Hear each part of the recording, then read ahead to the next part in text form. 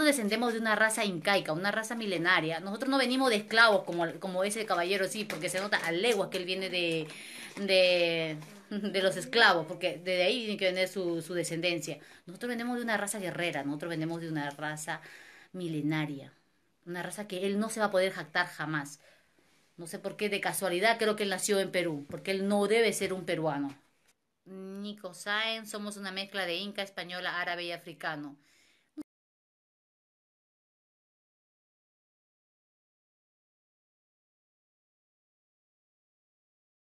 Nosotros somos raza indígena incaica.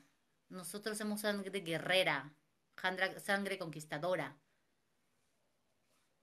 No descendemos de esclavos.